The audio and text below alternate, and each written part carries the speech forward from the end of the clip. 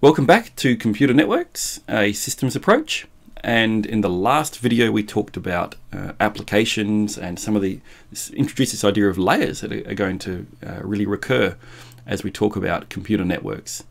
Uh, and now what we want to talk about is if we're actually designing uh, a computer network or a computer network application, uh, some of the things that are involved in there.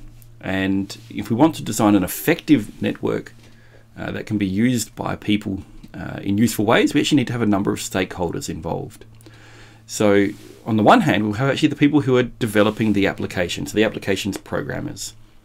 So what they need to do is they need to think about what the needs of their application are. And typically this will be in terms of how much data do they need and what are the delay limitations on that. So if we're doing video conferencing, we need for you know the, the delay for the video to come from one device to another uh, to be quite short.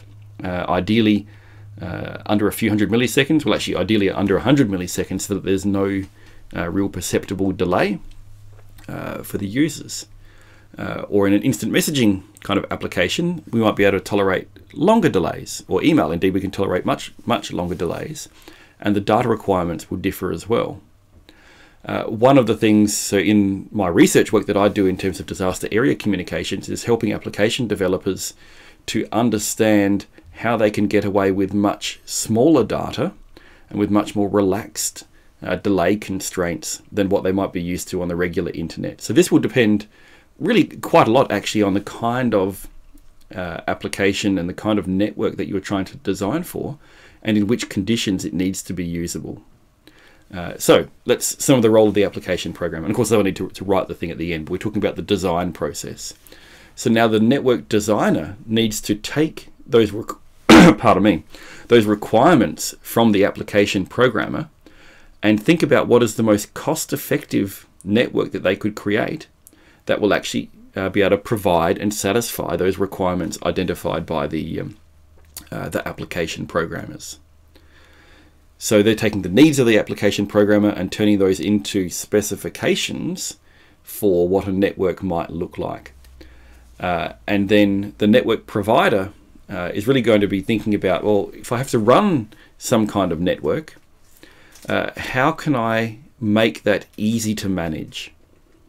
Uh, and you know, rather than it being you know insanely complicated or requiring lots of uh, of effort to do, so some of the things around you know how automatically can a network configure itself and reconfigure itself if the network environment changes or the application usage uh, changes. And so again, in the kind of uh, disaster response networks uh, that I'm involved in creating, uh, all three of these elements actually come together in terms of how can we really minimize the data requirement because we know bandwidth will be scarce.